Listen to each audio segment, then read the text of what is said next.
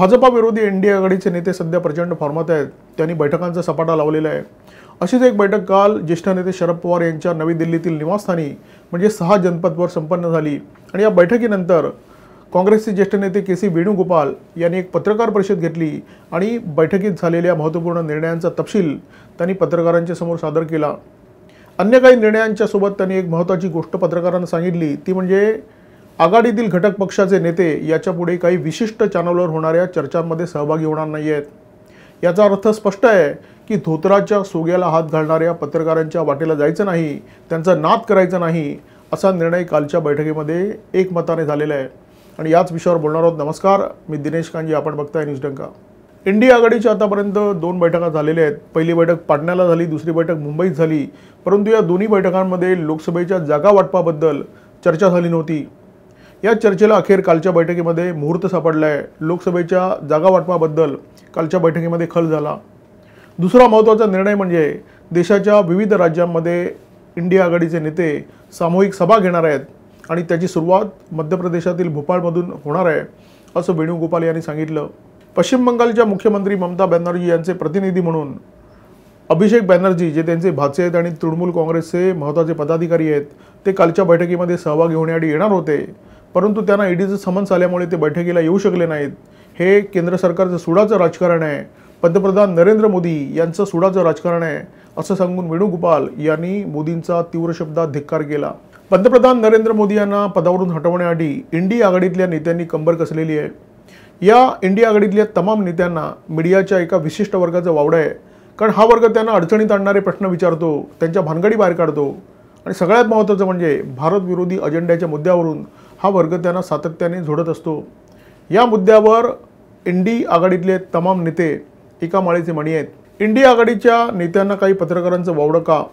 हे पत्रकार त्यांना का सलतात? त्यांचे प्रश्न त्यांना का खुपतात आपण काही उदाहरणं पाहू. सुरुवात महाराष्ट्रापासून करू. ज्येष्ठ नेते शरद पवार अलीकडे पत्रकारांवर वारंवार डाफरत असतात. कदाचित त्यांच्या वाढत्या वयामुळे असेल परंतु ते पत्रकारांवर वारंवार नाराजी व्यक्त करताना दिसतात.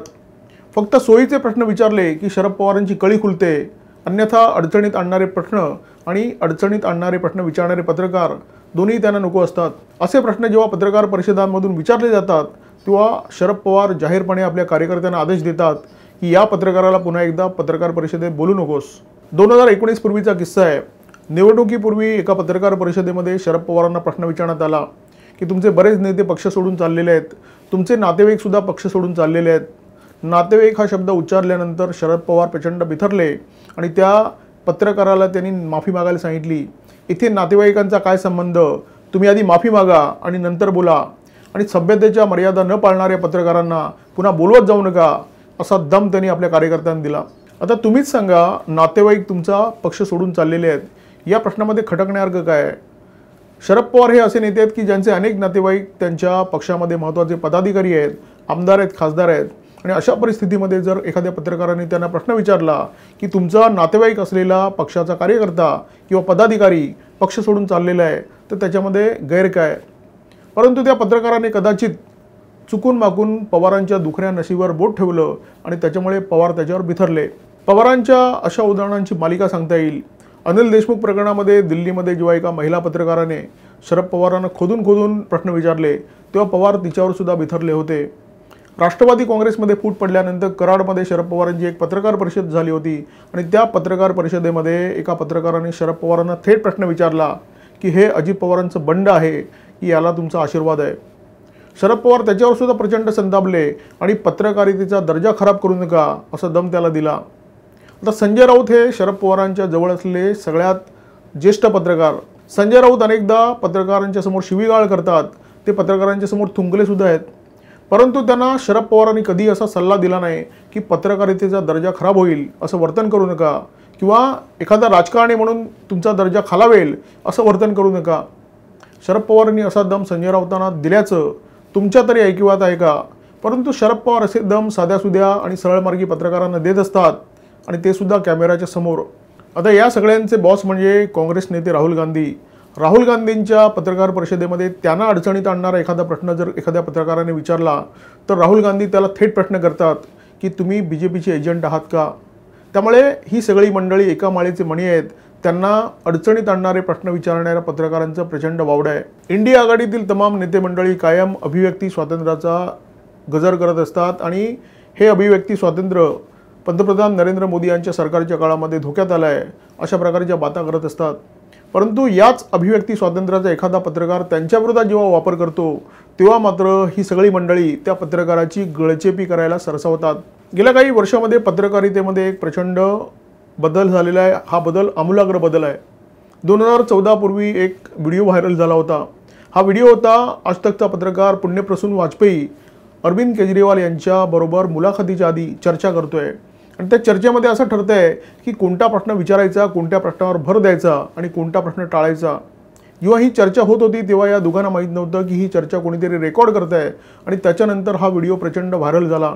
अशा प्रकारे काँग्रेस आणि त्यांच्या मित्रपक्षांसाठी सेटिंग करणारे त्यांचे लाभार्थी असलेले आणि त्यांचा अजेंडा राबवणारे पत्रकार अचानक मीडियाच्या मेनस्ट्रीममधून बाजूला पडायला लागले.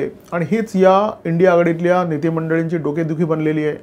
आणि त्यांच्या जागी जी मंडळी आलेली आहेत ती डायरेक्ट ठोकणारी आणि इंडिया आघाडीतल्या पक्षांच्या अजेंड्याची चिरफाड करणारी आहेत. आणि त्याच्यामुळे या मंडळींपासून बचाव कसा करायचा असा यक्ष प्रश्न या तमाम नेत्यांच्या समोर आहे. काही चॅनलवर होणाऱ्या चर्चांवर बहिष्कार टाकायचा तिथे आपले नेते पाठवायचे नाहीत. हा जो निर्णय कालच्या बैठकीमध्ये झाला त्याचं एक महत्त्वाचं कारणसुद्धा आहे. काँग्रेसमध्ये असलेल्या प्रवक्त्यांच्या तुलनेमध्ये भाजपकडे असलेले प्रवक्ते अधिक दमदार अधिक आक्रमक आणि अधिक अभ्यासू आहेत. अधिक मेहनत घेणारे आहेत. संबित पात्रा असो सुधांशू त्रिवेदी असो शहजाद पुनावाला असो यांच्यासमोर कोणीही टिकताना दिसत नाही. यांच्यासमोर जेव्हा सुप्रिया श्रीनेत्र रणदीप सुरजेवाला किंवा संजय झा यांच्यासारखे लोक उभे राहतात तेव्हा ते टिकू शकत नाहीत. ही या मंडळींची डोकेदुखी आहे. कधी काळी चर्चा घेणारे जे महत्त्वाचे अँकर होते ते कायम काँग्रेसला झाकण्याचा प्रयत्न करायचे. जेव्हा जेव्हा काँग्रेसवर समोरचा प्रवक्ता आक्रमण करतो आहे तेव्हा त्याला रोखण्याचा प्रयत्न करायचे यांना वाचवण्याचा प्रयत्न करायचे. परंतु ते अँकर आता गायब झालेले आहेत. त्याच्यामुळे जीवाजीवा भाजपचे प्रवक्ते त्यांच्यावर आक्रमक भाषेत प्रहार करत असतात. तेव्हा काँग्रेसच्या प्रवक्त्यांना पळताभोई थोडी होते असं चित्र वारंवार दिसतं. आणि त्याच्यामुळे या चर्चांमध्ये नामुष्की पत्करण्यापेक्षा या चर्चेतून काढता पाय घेतलेला बरा असा विचार इंडिया आघाडीतल्या नेते मंडळींनी केला असावा आणि त्यातूनच या चर्चांवर बहिष्कार टाकण्याचा निर्णय कालच्या बैठकीमध्ये झालेला असावा. आणखी एक मोठी अडचण म्हणजे इंडिया आघाडीमध्ये असे अनेक नेते आहेत जे स्क्रिप्टशिवाय बोलू शकत नाहीत. ते सोयीच्या पत्रकारांनाच फक्त मुलाखती देऊ शकतात. उदाहरणार्थ शिवबाटाचे पक्षप्रमुख उद्धव ठाकरे उद्धव ठाकरेंना कायम सामनामध्ये मुलाखती देण्याची सवय आहे. किंवा मातोश्रीमध्ये ज्या काही पत्रकार परिषदा होतात त्याच्यामध्ये सुद्धा ते सोयीच्या प्रश्नांना उत्तर देतात आणि बाकीचे प्रश्न शिताफीने टाळतात. उद्धव ठाकरेंची सामनामध्ये जेव्हा मुलाखत होते तेव्हा संजय राऊत त्यांना प्रश्न विचारतात आज एकदम प्रसन्न दिसत आहे क्या बात है? तर मग उद्धव ठाकरे त्याला उत्तर देतात मी कायमच प्रसन्न असतो. हे शिवसेना प्रमुख बाळासाहेब ठाकरे आणि मानचे आशीर्वाद आहेत. अशा प्रकारे गोडगोड प्रश्नांना सुरुवात होते आणि मुलाखतीच्या अंतापर्यंत प्रश्न गोडगोडच असतात. कोणत्याही उत्तराला प्रतिप्रश्न केला जात नाही. परंतु जेव्हा प्रत्यक्ष फील्डवर जाण्याची वेळ येते तेव्हा अशा नेत्यांची कशी भंबेरी उडते त्याचं उदाहरण काल परवा जळगावमध्ये पाहायला मिळालं. उद्धव ठाकरे पुन्हा एकदा बांधावर गेलेले आणि त्या बांधावर एका शेतकऱ्याशी त्यांनी संवाद साधला. या संवादामध्ये उद्धव ठाकरे यांनी सत्ताधाऱ्यांवर शरसंधान करण्यासाठी त्या शेतकऱ्याला प्रश्न विचारला. हे सरकार तर तुमच्यासाठी काहीच करत नाही आहे परंतु आमच्या काळात जी आम्ही कर्जमाफी केली त्याचा फायदा तुम्हाला झाला ना? शेतकऱ्याने प्रत्युत्तर दिलं नाही. नंतर उद्धव ठाकरे यांनी फिरून तोच प्रश्न विचारला. मग कदाचित तुम्ही त्या नियमात बसत नसाल. तर नाही नाही साहेब मी त्या नियमात बसत होतो तरीसुद्धा मला कर्जमाफी मिळाली नाही. आता उद्धव ठाकरेंची पंचायत झाली आणि उद्धव ठाकरे यांनी गुमान तिथून काढता पाय घेतला.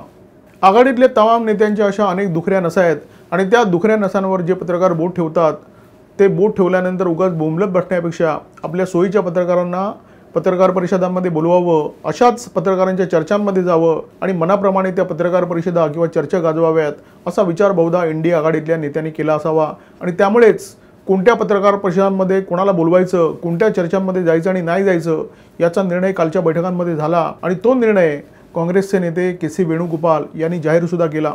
सोयीप्रमाणे वाकवल्या आणि वळवल्या जाणाऱ्या इंडिया आघाडीतील नेत्यांच्या अभिव्यक्ती स्वातंत्र्यावर या व्हिडिओच्या माध्यमातून आम्ही प्रकाश टाकण्याचा प्रयत्न केला. व्हिडिओ जर आवडला असेल तर जरूर लाईक करा शेअर करा आणि अशा प्रकारचे माहितीपूर्ण व्हिडिओ पाहण्यासाठी सबस्क्राईब करा आमच्या यूट्यूब चॅनल नमस्कार आणि धन्यवाद.